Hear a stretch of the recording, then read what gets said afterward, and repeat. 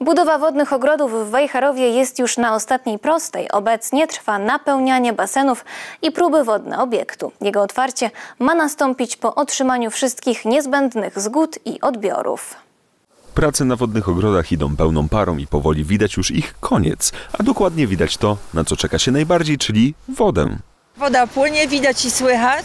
Jesteśmy na etapie takim rozruchowym, czyli sprawdzamy, czy, no, czy ta woda się nam tutaj ostanie w tych basenach, czy wszystko jest szczelne. Trwają próby, napełniamy baseny. E, Ten basen, który jest e, za moimi plecami, już jest dość długo napełniony, natomiast w tej chwili trwa napełnianie największego, naj, największej niecki. Widać także szeroko zakrojone prace wykończeniowe, a to oznacza jedno: budowa wodnych ogrodów jest już na ostatniej prostej.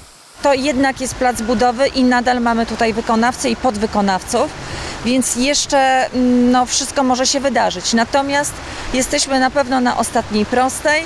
E, Co więcej, mamy wybranego i już pracującego na tym obiekcie również dzierżawcę restauracji, co jest też bardzo ważne, bo chcemy ruszyć w całości.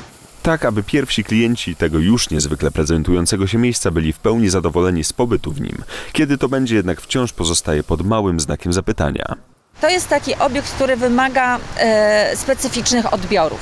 No tu jest woda, więc i sanepid, i różne em, służby związane z, ze strażą pożarną, z tym bezpieczeństwem przeciwpożarowym, z BHP.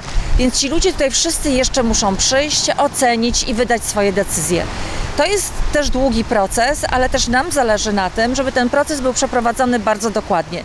Tak, aby zapewnić bezpieczeństwo wszystkich odwiedzających. Jest jednak duża szansa, że otwarcie obiektu nastąpi już w pierwszych tygodniach nadchodzących wakacji.